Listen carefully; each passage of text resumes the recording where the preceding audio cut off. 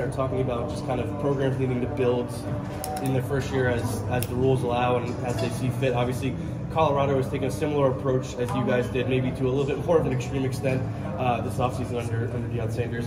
Um, what's your take on kind of what they're doing up in Boulder? And even though you're only be in a conference with them for one year, um, are you looking forward to, to going there and playing them at, at this September?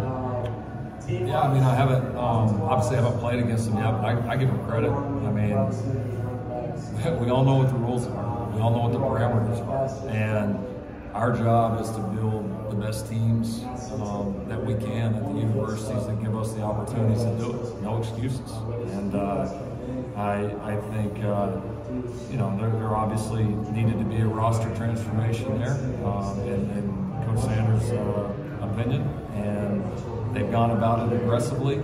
Um, obviously, the, the, success of that, just like of ours or anybody else's, will be determined on the field in the fall as time goes on. But um, yeah, I mean, you can't you can't worry about what everybody else thinks, right? Like, that's not that's not our job as leaders. Our job as leaders is to do the best we can for the people that give us the opportunities. And so, yeah, from from the outside looking in, looks like they've you know done a great job transforming that roster, bringing in some really good players.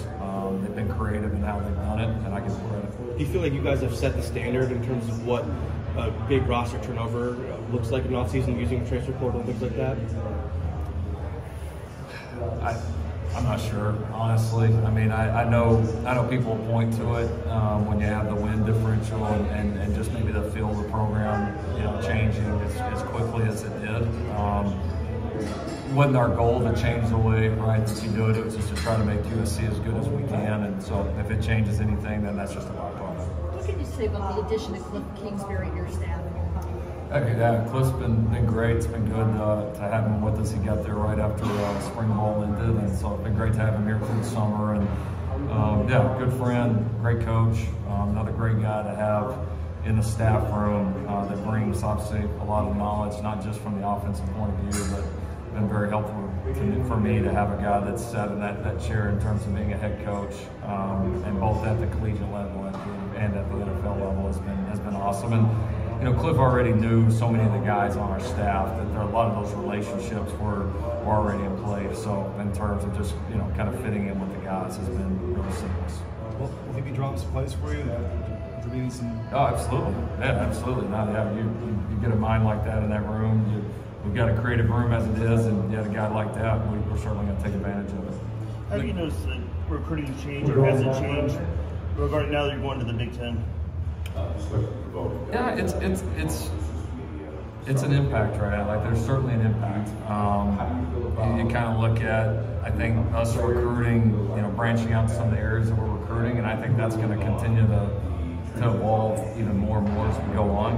Uh, I think I think our kids are excited about playing on a monster stage week in and week out. with Some of the matchups that it's going to create, and I mean, listen, I mean, right now more people watch Big Ten football than anything else, and you're getting ready to add, you know, two prime schools in the LA market into that, and what that's going to mean is. Uh, is uh, some great opportunities for all the teams in the future. So, um, yeah, from a recruiting standpoint, that's that's the time that we focus the most on it. Um, it's certainly, I think, exciting for, for everybody, coaches, fans, and, and recruits, future players.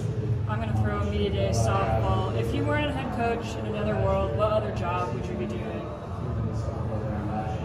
Um, all my family says either a lawyer or a doctor, but I, I don't know. Um, I think I could have done either one. Um, probably one of those two. You want to be a lawnmower like Jim Harbaugh? yeah, that's a better answer. There's no telling with Jim. No telling. one coach you didn't get to play against last year was Kalen DeBoer. Yeah. He's a like-minded offensive guy. Did you know a lot about him coming into the conference and playing this fall? Just kind of what are you looking forward to? Yeah, certainly. Yeah, I knew about his, his previous success and the job he has done as, a, as an offensive coach and play caller. And, and uh, I think all of us, when, when Washington hired him, I think our Betty coaching community knew that that was a you know, really strong hire. And uh, I've enjoyed this year uh, just meetings, and uh, we did the big uh, coaches uh, golf outing at Pebble Beach. I got to spend a lot of time with him there. It's uh, I've, I've, just had a lot of fun getting to know him. A great guy, a lot of fun to talk to. We'll, we'll, get to play him once this year, which will be fun, or maybe twice, right? We'll see what happens. But yeah, no, he's he's he's done a tremendous job. They got a lot of really good football players up there right now, and yeah, it's been a lot of fun to get to know him personally. Coach, you- mentioned um, Colorado. Have you had any opportunity in the spring at all to interact with Coach Sanders? I know he's not here today, and just what do you think about the overall excitement he's brought to the league so far in the offseason? Yeah, no, I've never met Coach. Uh, looking forward to getting a chance to do it. Uh, we got a lot of mutual friends, so it'll be good to catch up with them. Yeah, I mean, listen, anytime you can bring in good players or good coaches into a league, uh, it's a healthy thing for the league. And, and Colorado, Colorado's got some some really strong history, as we all know, and so I think it's good for college football, good for this league right now uh, to see programs like that that have been down a little bit start to come back, and you certainly can't deny the excitement that he's had. When you look at the caliber of quarterbacks in this conference, do you think it's going to be every week one quarterback up, upping another quarterback with what they can do? Well, listen, I mean, it's one of those things like, is, is all the quarterbacks coming back a big deal? Yeah, of course it is, right? Like, it, it, it's an important position, but there's still the other 21 guys on the field are going to have some say in it too, right? And, and so um, it's a great starting point for a lot of these teams, and it does give you absolute advantages. But, you know, even when returning all these quarterbacks, like a lot of these guys are going to have new supporting casts. You know, a lot of these guys are going to have different players around them, or in some cases, different coaches, or different play callers, or different systems. So um, it'll be new challenges for the quarterbacks. But yeah, I mean, uh, you certainly can't deny the strength of it, and, and I would imagine there'll be a, a lot of great performances throughout the year. What's been your early impression of Deuce Robinson so far? Uh, Deuce has done well. He's done well. He's uh, you know, certainly uh, you know the, the, the size, the length, the speed combination is is, is unique, like we kind of knew and, and thought thought it was. And uh, he's picked up on our, our system really quick, and and uh, I'd certainly be surprised if he doesn't have a, a, a good impact on the football. Figured out where he's going to slot, and then also the, the baseball schedule, and how it's going to work. Yeah, we're going to communicate on, on baseball now that the, the draft and all that have unfolded. We've already started some of those some of those talks, um, so I'm excited to continue that. Uh, we've worked him at a, at a variety of different positions this summer just to try to get him acclimated more within the offense. And as we once we finally get on the field with him and we get pads on and we get a chance to work and see, you know, what he's really like there and where our other strengths and weaknesses are, we'll get him slotted.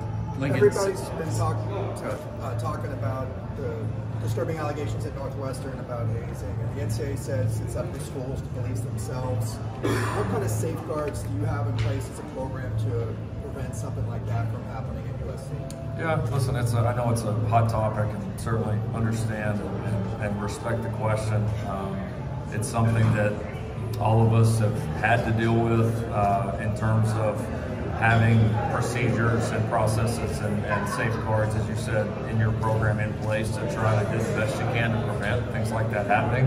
It's obviously at the forefront uh, of everybody's minds right now because of what happened. I don't know that I want to get into a lot of details, but I would just say we're uh, confident in that approach, and it's uh, it's a it's been a constant topic for us um, since the day we walked in the door. Not just because there was an incident that happened at another school. Let's do one more. Same kind of first impression questions. with Bear on the defensive side and, and Emmanuel coming in on, on offense. What have you seen kind of from them? Really, I know no pads or anything like that. Yeah, um, I mean, you love you love what you see in the weight room. You love just kind of strength and mass that they bring on, on both sides, and that was that was an area for us of, of that we wanted to address was really on both sides. We wanted to get a little thicker, right, a little stronger, have a little more mass, a little bit more power on the interior of the offensive and defensive lines, and, and those guys bring that. So uh, yeah, I think up to this point, excited about the off seasons they've had. We've got to get them acclimated to us uh, from a culture standpoint, from a scheme standpoint, quickly here when fall camp starts. But they both they both look like look uh, as advertised. Thank you, Coach Riley.